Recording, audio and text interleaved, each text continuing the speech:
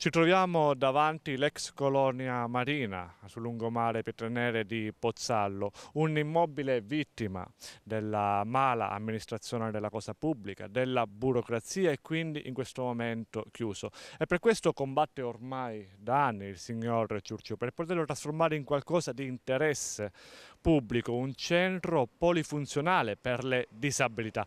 E dopo firme, dopo incontri, adesso arriva l'ennesimo stop da parte della regione e sinceramente ancora non si capisce il perché. Noi siamo con Giovanni Ciurciù che già nel 2012 diede vita, diede vita alla fondazione Yolanda e Francesco Ciurciù Onlus no? e quindi affinché le persone capiscono che cos'è che le dà l'energia per continuare questa battaglia sulla burocrazia perché crede in questo centro e perché crede appunto, crede appunto, in un sostegno sulle disabilità? È stato da molto tempo che alla fine un giorno ci siamo guardati negli occhi con mia moglie e abbiamo deciso che i costi della vita che abbiamo fatto per 43 anni con due ragazzi disabili purtroppo ormai morti tutti e due, di utilizzare il nostro patrimonio per eh, far sì che famiglie come noi non vivessero gli stessi drammi e gli stessi problemi che abbiamo vissuto noi.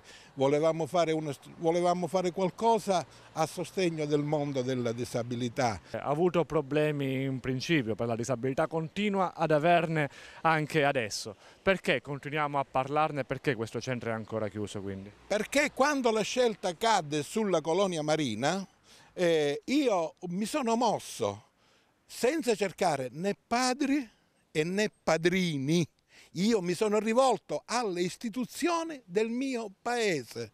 Le istituzioni del mio paese hanno verificato se la fondazione aveva i titoli per avere questo bene, ho chiesto il bene, le istituzioni hanno fatto delle relazioni altamente positive a favore della fondazione, tant'è che l'iter inizia l'agosto del 2014, quindi prepariamo i documenti, prepariamo tutto in, in quel momento che io ricevo il primo ricatto, cioè fermo, dobbiamo andare avanti?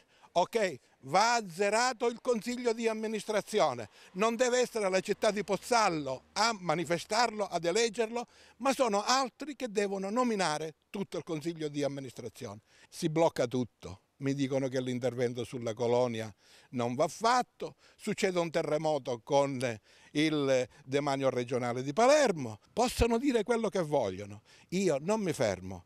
Per me non è ormai un problema colonia, struttura per disabili, per me è un problema di dignità e di moralità. Io ricatti non ne ho mai accettato in vita mia, non ne accetto nemmeno ora. Guardate, io voglio fare una struttura per i disabili, la do alla città di Pozzallo, è pubblica, non c'è niente di privato. Quale migliore occasione di questo?